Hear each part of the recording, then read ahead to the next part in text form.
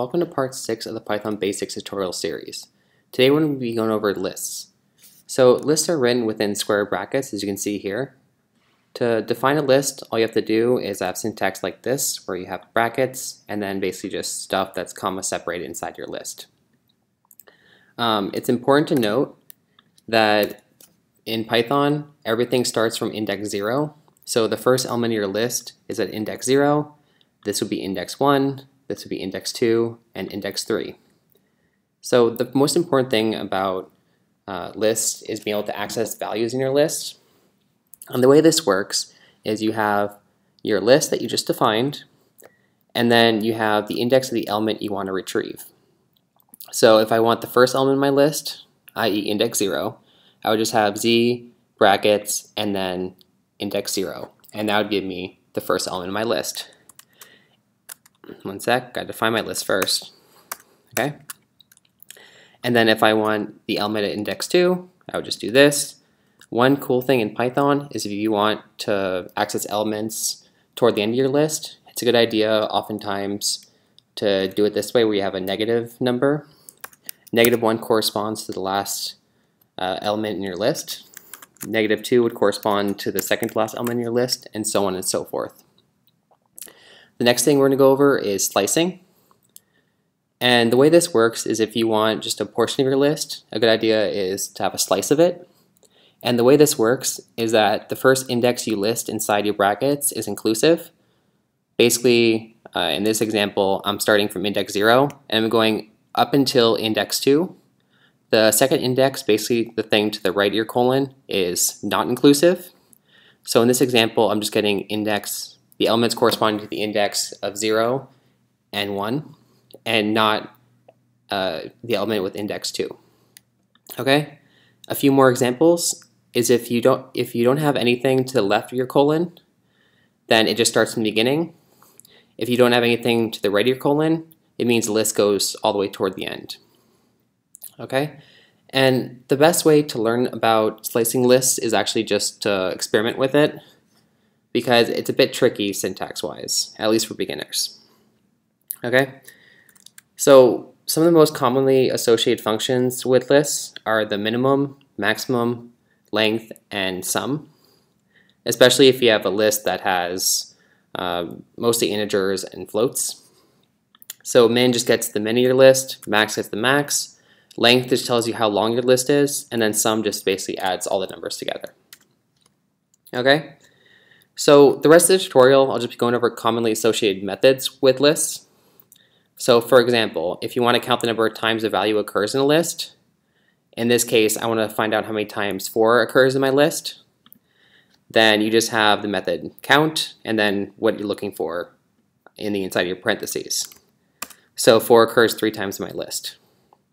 Okay, if you want to return the first index where a value occurs, you just use the dot .index method.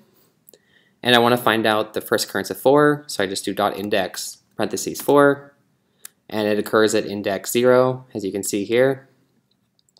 Um, you can also specify where you want to start your search. So I want to find the first occurrence of 4 starting at index 3. This is how you do it. You can also uh, specify a range of indexes you want to search for your value.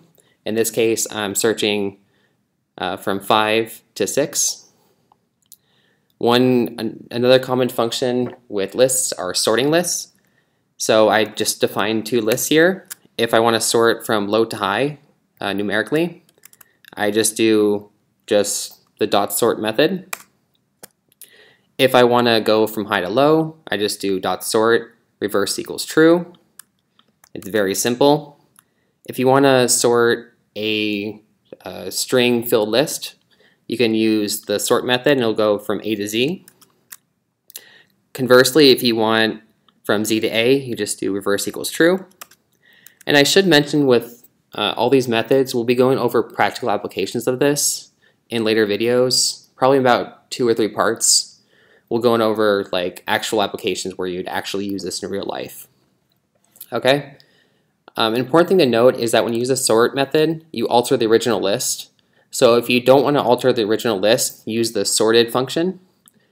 And this basically just makes a copy of your list.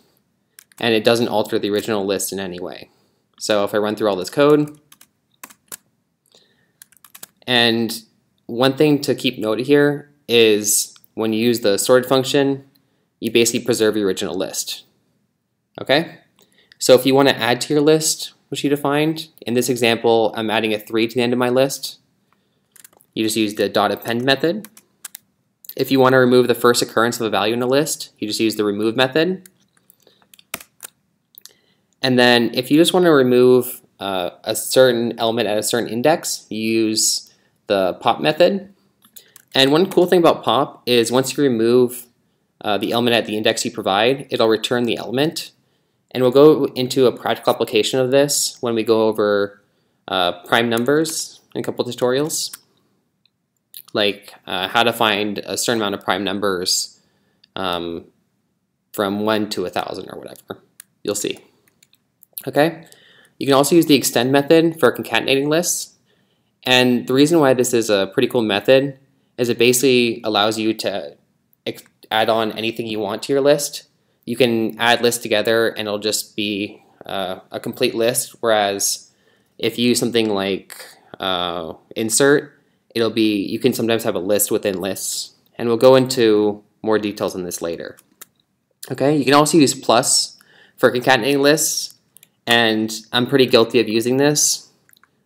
Um, it's pretty handy, so one thing to note is lists can be very diverse. Each element in a list can be a different type, and lists are really just a long list of pointers, and these pointers can point to really anything. Strings, floats, even this list itself, which is kind of inception there.